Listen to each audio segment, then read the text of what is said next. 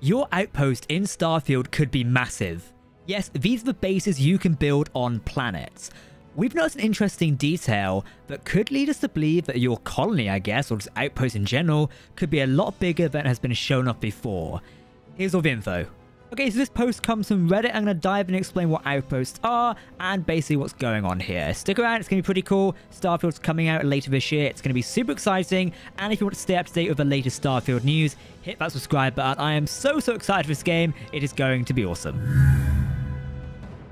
So recently we had the Starfield Direct, and it was Todd Howard showing off a bunch of the Starfield features we sort of already know were going on, but it gave us a glimpse of gameplay and things we hadn't seen much of before, such as Starfield ship customization, which I've done a full video on, as well as outpost customization. These are the bases you can build on planets, and it's kind of really cool.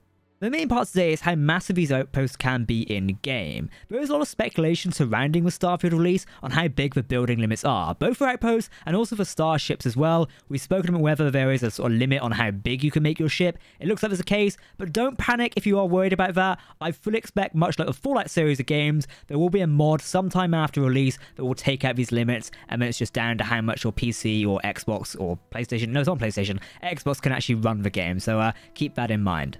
Obviously, Starfield has been like 25 years in the making. That's what Bethesda are showing or selling things as. And, you know, in that 40 minute breakdown of Starfield, it covered every major thing, particularly the outpost, which has sort of got people's hopes up for how big these buildings can be. Now, on screen right now, I'm showing you a demo of when we see the outpost being built. In the bottom left corner of the screen, zooming in now, is that despite the many sections of the base have already been built, only 10% of the build limit is being used. You can sort of see there, it, it, doesn't show in percentage, but you can sort of make it out how big this actually is. And the Reddit user PackDog1141 actually pointed this out. Now, overall, it is a major improvement over some of Bethesda's games, which do feature base building, like Fallout 4, for example. It possibly suggesting how huge these areas might be in the final game. Now, the response from the community may have burst the bubble a little bit, and then we're going to go over why that could be the case. Because while at the minute it looks pretty massive, there could be some other issues at hand here. For example, we do have interior decoration. Now, this will add to the build limit, so if you're looking to put tables, chairs, lighting blocks, plant pots, cookers, I don't know, whatever you want to put in your interior, this is going to take up the building limit for your outposts. Overall, though, pretty cool that we still got this size here. It is something to be concerned about, because I believe Fallout 76 does this as well. It's been years since I've played that, and no one can blame me. It's basically lighting and things like that can eat up your building budget, I guess we can call it, very, very quickly. And this will take up the size limit and keep that in mind. As many have been joking, the only limit is your imagination, is what Todd Howard's been saying. Meh, I think it's going to be the frame rate and the building limit. Don't worry, I do strongly think a mod will allow us to bypass these build limits at a later date. Still though, if that's only 10% in this image here, of sort of what's on the screen, and we see some of the structures have been popped down, so you've got an outpost airlock, four hub wall, a hydroponic hab A, small hab flat small, a military habitat, which will probably be weapons and things, that doesn't include the internal stuff shit just yet, so that's something to keep in mind. Still though, with just that, the base is going to be pretty big, so you could possibly have these very large outposts. I for one hope there's some sort of landing pad we can have that would make out the game for me and make it a lot better.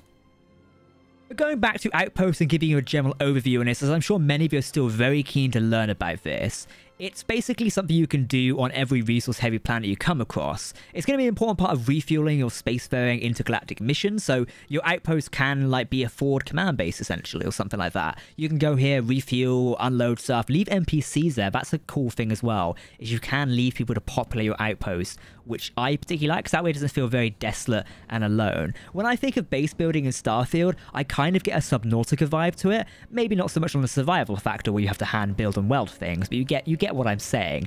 But one of my issues with the game of Subnautica when you build these giant bases is there's nobody else to live in it. Sure, you got to fish out the window. That's not the point, though. You get what I mean.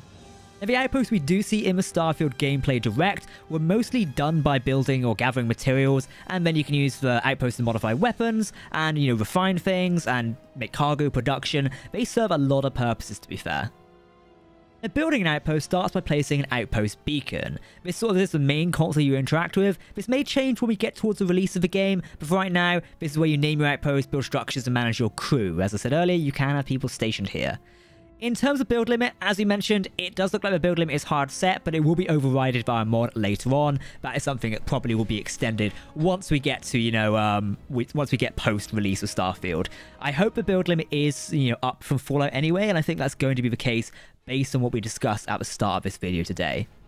Now, as I mentioned, there are a dozen outpost structures we can play with. That's something to keep in mind. I'm sure there's going to be more added later down the line, so we can fully customize our outposts and make some really, really cool stuff one of my concerns was sort of like an operating cost thing. It does appear there's going to be some sort of power meter or something that's going to sort of like, you know, keep us um, you know, keep it so we can't scale too much, too much equipment. Because you see at the bottom, we have cargo zero, crew zero, needed power zero, total power zero. So said, when you have production machinery or like cargo storage or maybe ship refueling, you're going to need a power source to keep your outpost ticking. Now, I fully expect this to be solar power or perhaps, you know, wind power, something like that. We already do see a windmill in, in one of the sort of screenshots and also game demos. It's sort of in the background, but I expect it will be solar. I'm not sure about reactors. That could be pretty cool and hope so because I imagine those minerals you can mine on planets which would power reactors and things like that. We'll have to wait and see.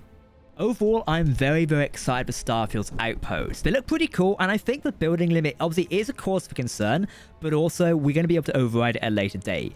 That's something there. Like, interior decoration is going to add to the build limit overall, but it's going to be cool. We're going to have to ponder until Starfield comes out and how this build limit works, both for starships and also for in-game outposts. Still though, let me know what you think down below in the video comment section. Are you excited for this? Are you going to push the limits of outpost building in Starfield? I know I am. I want to build a really cool sci-fi base on a planet somewhere, and I really hope weather's going to affect your outpost buildings. I kind of want like a Kamino-style planet. Maybe not so much water, but a stormy planet would be pretty cool. Maybe like a harsh landing environment so we can find you there. Or maybe we can build like secret outposts somewhere. That could be really, really, really cool.